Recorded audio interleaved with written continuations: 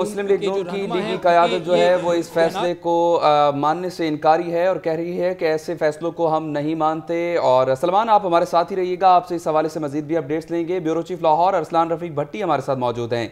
بڑی صاحب ایک فیصلے میں بری تو دوسرے میں سات سال کی قید سنائی گئی ہے۔ ساتھ میں جرمانہ بھی کیا گیا۔ بیٹوں کے دائمی وارنٹ جو ہیں وہ جاری کیے گئے ہیں۔ عوامی سطح پر آپ کیسا رد عمل دیکھ رہے ہیں؟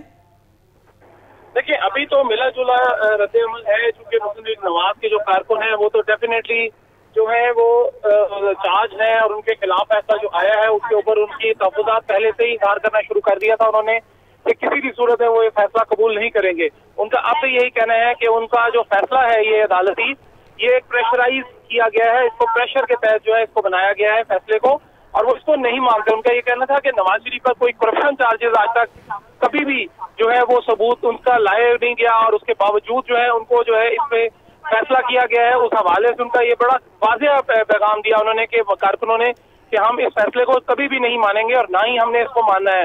ان کا یہ بھی کہنا تھا کہ اپیل تو ہم کریں گے، لیکن ہمیں یہ بالکل امید تھی کہ میاں نواز شریف کے خلاف فیصلہ آئے گا اور کبھی بھی ان کے حق میں فیصلہ نہیں آ سکتا۔ اس حوالے سے جو کارکن ہیں، نصیر آباد میں بہت بڑی تعداد میں جگہ جمع ہے ان کا لاہور کا دفتر ہے، وہ مین وہاں پہ تمام لیڈرشپ موجود تھی، انہوں نے وہاں دیکھا اور فیصلہ جو انہوں نے کہا کہ ان کو جب یہ کہا گیا کہ ایک کیس میں ان کو جو ہے وہ سزا نہیں بھی ہوئی، تو ان کا یہ کہنا تھا کہ اس کا مسئلہ ہی نہیں تھا، وہ کیس ہی نہیں تھا۔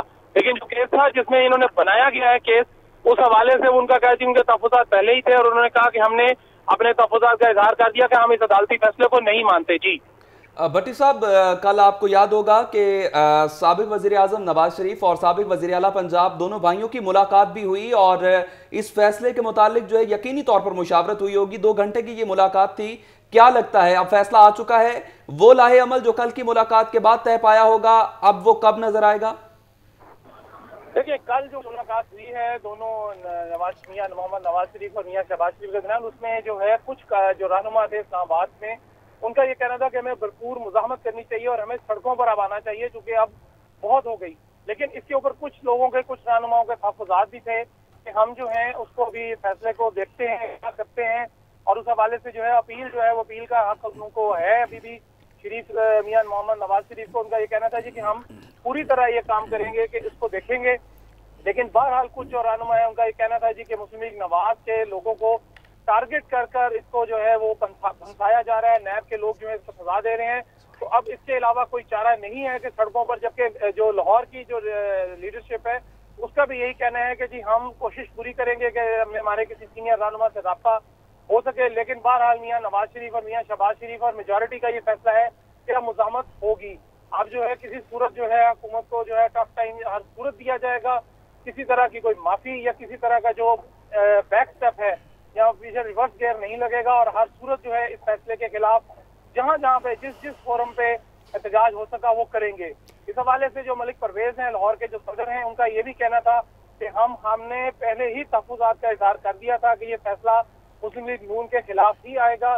کوئی ایسے امر مانے نہیں تھا کہ یہ فیصلہ جو ہے ان کے حق میں آتا، چونکہ یہ بات عدالتیں پہلے سے ہی فیصلہ کر چکی تھی اور ان کا کہ ماضی میں بھی یہ فیصلے دیکھے جائیں تو عدالتوں کے عدالتی جو فیصلے آئے ہیں وہ نون لیگ کے ہمیشہ خلاف ہی آئے ہیں کافی عرصے سے اور کبھی بھی انہوں نے اس میں سے ایک پرسنٹ بھی جو ریلیف دینا چاہیے تھا وہ نہیں دیا۔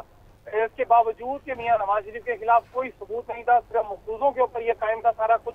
سارا کیس جو ہے مقصوصوں پر بنایا گیا تھا، اس حوالے سے انہوں نے کہا کہ ہم نے تحفظات کا اظہار کیا، لیکن ہمارے تحفظات کہیں نہیں سنے گئے۔ نہ تو عدالت نے سنے نہ ہی کسی اور ادارے نے سنے لیکن بہرحال انہوں نے کہا کہ ہم نے اپنا حق ہمارے پاس محفوظ ہے، ہم اس کو ہر صورت جو اپیل ہے جو رائٹ ٹو اپیل ہے، وہ اس کو جو کریں گے، وہ اس میں ہر صورت جہاں جہاں پہ بھی اپیل ہو سکی ہم کریں گے۔ ان کا یہ بھی کہنا تھا کہ جیلیں جو ہیں مسلم لیگ نواز کے لیے کوئی نئی نہیں ہے، وہ ہمیشہ جیلیں ماضی میں بھی بھگتے رہے ہیں اور سرخرو ہو کے آئے ہیں۔ ان کا یہ بھی کہنا تھا کہ اس کیس میں بھی سرخرو ہونا تھا، لیکن اگر فیصلہ عدالت کرتی تو بہت اچھا تھا، لیکن یہ فیصلہ عدالت نے نہیں کیا۔ یہ فیصلہ اس سے کروایا گیا ہے۔ اس کے محرکات کا ان کا یہ کہنا تھا کہ جی ہم جائزہ لے رہے ہیں اور اس کے بعد ہی ہم فیصلہ کریں گے کہ ہم نے کب تک سڑکوں پر آنا ہے۔ اور کب جو ہے ایک باقاعدہ جو احتجاجی تحریک ہے، اس کو جو ہے وہ شروع کیا جائے گا۔